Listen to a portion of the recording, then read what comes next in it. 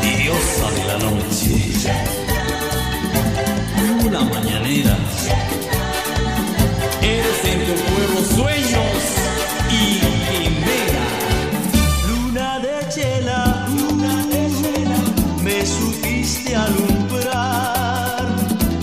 mis noches de pena por una morena de dulce mirar.